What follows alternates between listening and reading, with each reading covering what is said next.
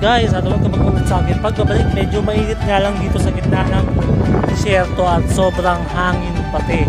At napakita ko sa inyo dito yung tambayan ng mga camel, ng mga kaibigan natin sa